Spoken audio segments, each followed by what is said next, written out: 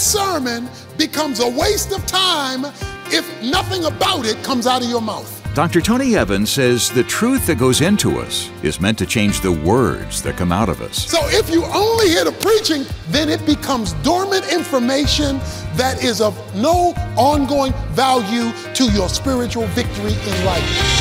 This is The Alternative with Dr. Tony Evans, author, speaker, senior pastor of Oak Cliff Bible Fellowship in Dallas, Texas, and president of the Urban Alternative. The Bible teaches that faith gives us the power to move mountains. Today, Dr. Evans explains that moving mountains means more than just rearranging some geography. Let's join him as he explains. When the Bible speaks symbolically of a mountain, it's, when it's not talking about a physical location, but a spiritual principle, it's talking about something too big for you to climb, too wide for you to get around that you can't go through it because it's too thick. It, it's called a mountain, an oversized situation that is limiting your progress, locking you down, and keeping you from moving forward. Well, such is the use of the word in Mark chapter 11. Jesus is going to refer in a moment to a mountain, symbolically referring to a situation too big for you to climb over, go around, or peer through. It's a mountain. We find in verse 20 of Mark 11 these words As they were passing by in the morning, they saw the fig tree withered from the roots up. So, according to verse 12 through 14, Jesus is hungry and there's a fig tree. But when Jesus walks over to the tree, he sees the leaves, but no figs. The leaves give you the impression to expect some figs. So, what we got is a pretend tree. It looks like it's ripe. It looks like it's ready. It looks like there's some figs to be had. But when he arrives, it was showtime. It was leaf with no life. He looks at the tree and says, No one will ever eat from you again. Why? Because you fake. You got leaf, but no life. There's no fig there. You fake tree. Between verses 12 to 14, when he speaks to the tree, no one will eat from you again. And verse 20, when he declares, or when they see that the tree is rotten from the root up, Jesus goes to the temple. Between these two tree scenarios, he goes to church. And that familiar story, he turns over the tables in the church. Why? Because the leaders were fake. In other words, they were using the church to rob people, steal from people. They were using the church house to mess folk up. So the reason he says there will be no figs, and the reason that the tree has died is because of the spiritual lesson he was going to show his disciples about what was happening in the church. The big deal is this all happened overnight. In other words, the day before, he just said, Nobody's going to eat from you again. That's all he said. But they come the next day and the tree is gone. It's not just gone, it's gone from the bottom to the top. It had completely withered when it was leafed the day before. In other words, the leaves were all working. There was no fruit, but it looked good because the leaves were there. We don't even have leaves in the morning. Peter saying, How could that much happen this fast? Jesus answers in verse 22 Have faith in God. Jesus, how could this tree change this quick? Well, it's simple have faith in God. And I say to you folks, if you do what I did, you'll get what I got. So he's not talking about him anymore. He's talking about them and what they could expect in the mountains of their lives. If you say to this mountain, I started off before I ever said anything to the tree, I had faith in God. So before I said anything, I believed something. What I believe determined what I said. Have faith in God. So God is expecting those of us who have been created in his image and recreated in Christ Jesus to have so much authorization from heaven that we can dictate to mountains what it ought to do. But in most of our cases, mountains are dictating to us. Mountains are telling us, I ain't going nowhere. I don't care what you say. I ain't going nowhere today and didn't go anywhere yesterday. I'm going to be here for the rest of your life. I own you. And the mountain is telling us what to do while we saying amen. Stay with me here.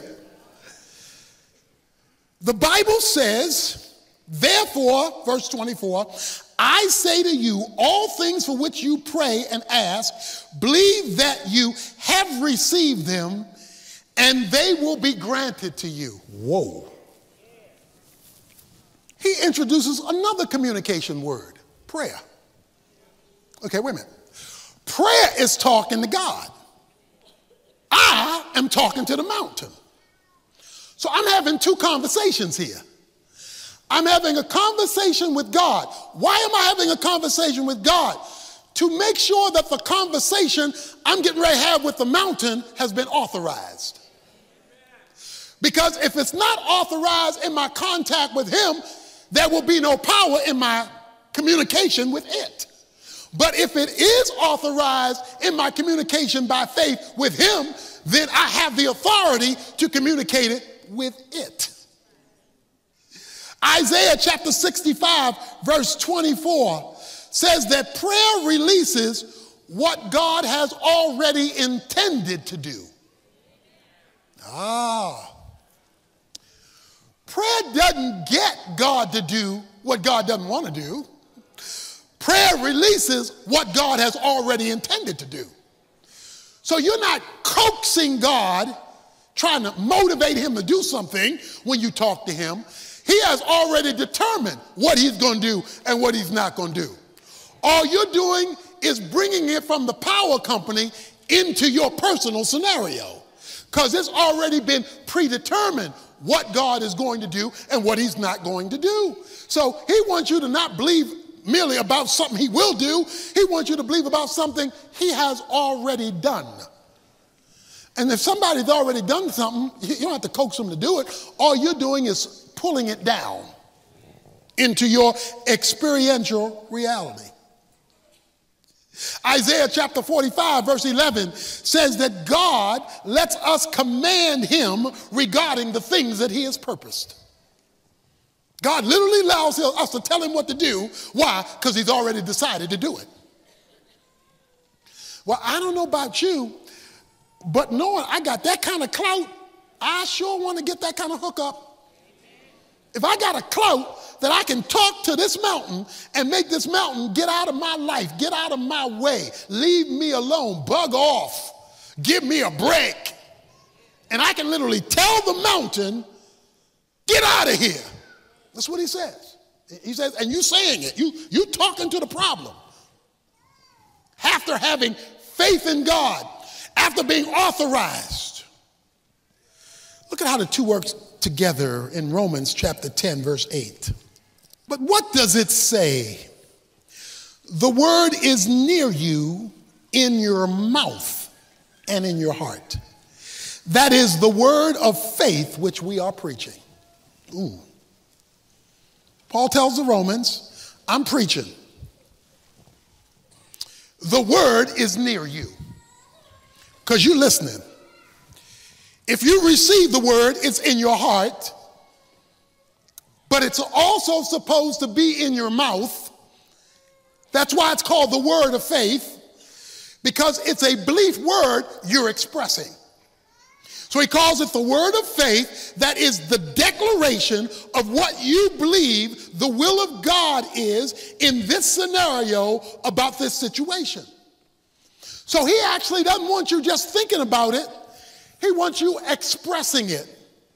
He wants you to determine what the will of God is based on God's will, based on God's word, based on God's character.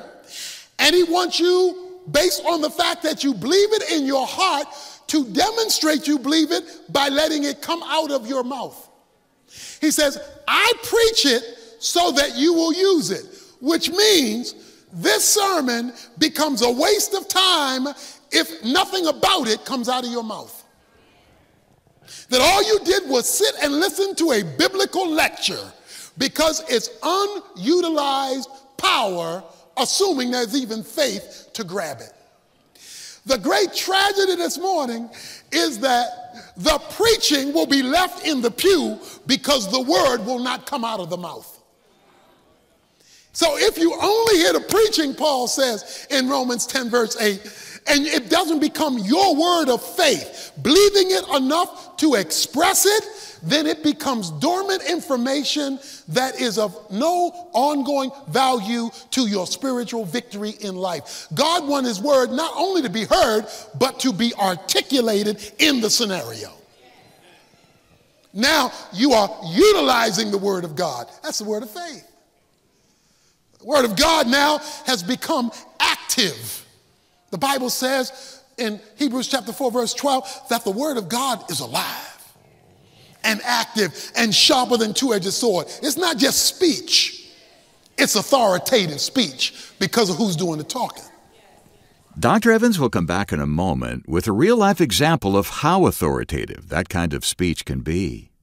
First, though, I want to let you know that his brand new book is already on its way to becoming a bestseller, and it builds on what we're learning in our current series. It's called Watch Your Mouth, a practical look at ways to tame our tongues.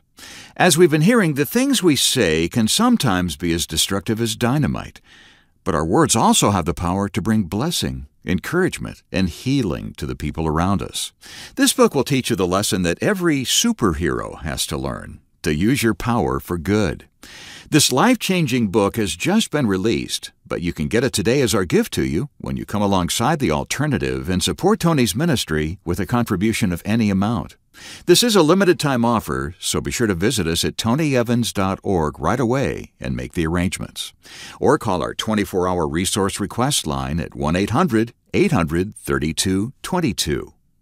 I'll have that information again for you later on, but right now, here's Dr. Evans with more of today's message.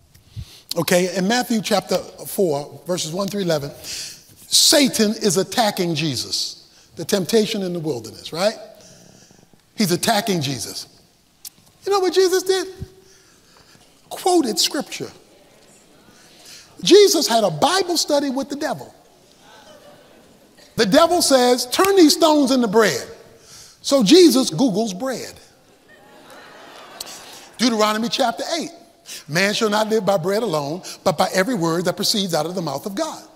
He turned to Satan and he said, Satan, let me read you this verse. Man shall not live by bread alone, but by every word that proceeds out of the mouth of God. Satan comes to him two more times. Two more times, Jesus quotes the scripture to him. See, what Jesus knew is that the devil is allergic to scripture.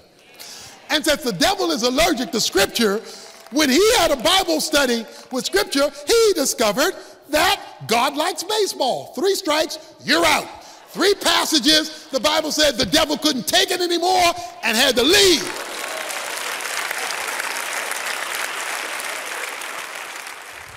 See, most of us have it backwards. We say, okay, we're talking about our mountain, our problem that's, that's huge. And so what we'll say is, uh, I know God is able, but let me tell you about the reality of my situation. Yeah, I, I, know he can fix it, but but come on, come on now. Let me, let me, I've been dealing with this. My mother was dealing with this. Yeah, I know this. Uh, okay, we got that backwards. Okay. Talk about your mountain and then bring God in. Okay, this is my mountain, but God said, this is my problem. But God said, yeah, I know what you're doing, devil, but God said, Don't start with God and end with your mountain. Start with your mountain and end with God so that He has the final word over your situation. However, I'm assuming something. I'm assuming you're willing to take the time to find out what God said. Oh. Because most folk, even Christians, aren't willing to do that. It takes too much time. I'm gonna miss too many television programs. I'm gonna miss so much this. I'm gonna, I don't have time for that. I can come to church and hear a sermon. Okay, good. Live with your mountain. Or do you want to get rid of your mountain by telling it what God has to say to it? Now, he does give a condition here. There is a little condition that he doesn't want you to lose out on, and that is in verse 25. He says, Whenever you stand praying, forgive if you have anything against anyone, so that your Father who is in heaven will also forgive you your transgression. But if you do not forgive, neither will your Father who is in heaven forgive you of your transgression. He says, You can't be asking for my help and be living with an unforgiving spirit. Forgiveness means I'm no longer holding a grudge, okay? I'm no longer holding a grudge. Doesn't mean there are consequences and all that, but it means I'm not going to let you block me getting rid of my mountain. Okay? Why? Because of the vertical and the horizontal. You want a vertical from me, you got to give a horizontal out here.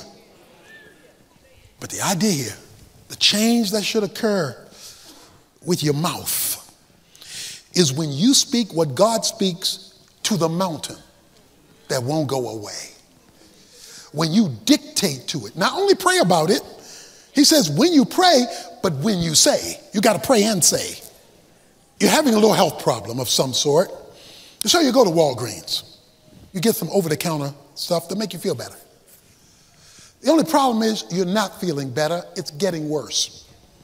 So you decide over the counter won't do. Over the counter is not enough because it's not strong enough, it's not vibrant enough, and I still feel bad. Well, now that means you're going to call the doctor. So you call the doctor, the doctor says, Come in, and you go in and you say, This is what's wrong, and nothing I am doing is making it better.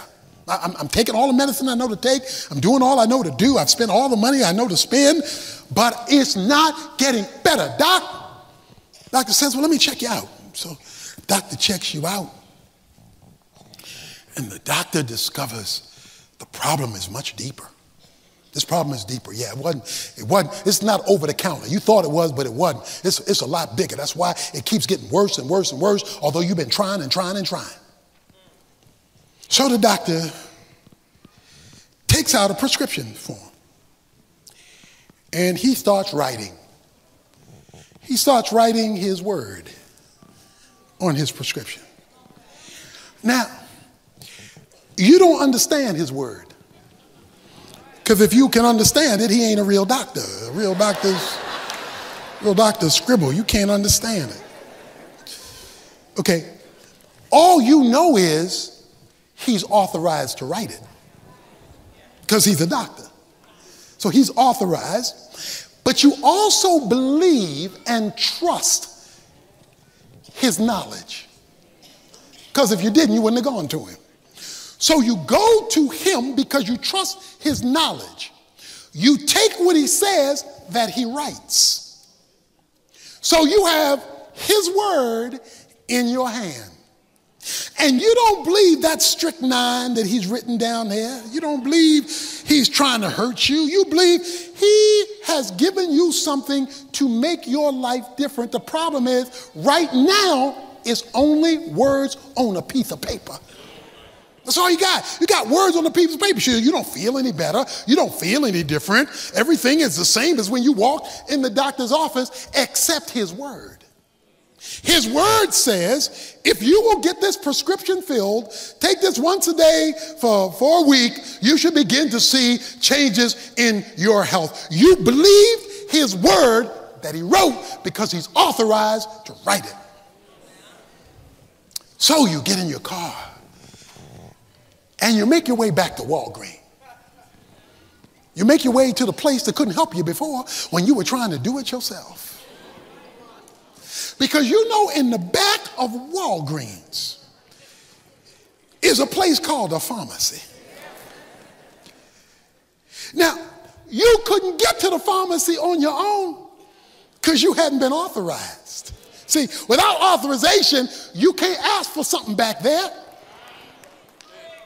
Because the stuff back there is for mountains. The stuff back there, that's not over the counter stuff. That's stuff that's, that's for deeper stuff back there. So you got to be authorized to go back there. Even though you don't understand everything he wrote, you trust him because he wrote it.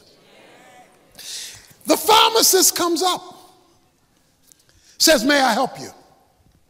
All you say is, Would you fill this prescription? That's, that's all you say. Because you believe that what is written is, a, you don't get into a conversation with the pharmacist. Okay, come on, explain to me. Let me go to back there with you and see what you're putting in this cap. Let me, let me go back there with you. You don't get into all that. Because you're operating on faith based on the word that is written. He brings you some medicine based on what is written, and you've got the gall to trust it enough to take it. You don't understand it, you can't explain it, you don't know the ingredients in it. All you know is my authorized person wrote it down, he filled it, I'm going to trust him to use it because I believe they know what they are doing. Now, watch this. You can have people with knowledge who don't have authorization. See, a lot of us are spending all of our time talking to psychologists, spiritual folk who sound like they know what they're talking about, but they can't write a prescription. So after your meeting is over, after your phone call is done, after your complaining is over, you're still sick as a dog because they couldn't write anything to make you better. All they could do is help you analyze how bad off you really are. But when you talk to a doctor who's been authorized to write a prescription and you give the written word to the pharmacist, he gives you something that can change your health and make you feel better. If you're tired of your mountain controlling you, God says, I want you to go to what I wrote because I know and I've been authorized. And if you will trust me enough, even though you don't understand everything that's in here, even though you can't figure it out, even though you don't know Greek, you don't know Hebrew, you don't know Aramaic, you know enough English to read what I said and to quote what I said. And when you use it and speak to the problem and mountains in your life, you will watch your addictions go jump in the sea. You'll watch your enemies go jump in the sea. You'll watch your emotions go jump in the sea. You'll watch your circumstances go jump in the sea. Why? Because I am the Almighty God and I have authorized your victory. Dr. Tony Evans, wrapping up a message he calls Power in Your Palate. The full length version of this lesson is available on CD. Just check with us for details on getting a copy. Better yet, you can request it as a part of our current 11 part teaching collection called Watch Your Mouth. All the information you need is waiting for you at tonyevans.org. While you're there, don't forget to request that brand new book I told you about earlier, also called Watch Your Mouth. A look at what God can build into our lives when we control what comes out of our mouths. As I mentioned, it's our thank you gift when you help us keep Tony's teaching on this station with any contribution, large or small. It's the perfect follow up to what we've been learning on the broadcast, but be sure to request it right away before this special offer runs out. You can do that online at tonyevans.org. That's tonyevans.org. Or give us a phone call at 1 800 800 3222 and let one of our staff members help you. That's 1 800 800 3222. When we start talking, it's only a matter of time until our words wind up hurting someone, unless we're using God's words instead of our own. Dr. Evans will tell us about that tomorrow. I hope you'll join us. The Alternative with Dr. Tony Evans is brought to you by the Urban Alternative and is made possible by the generous contributions of listeners like you.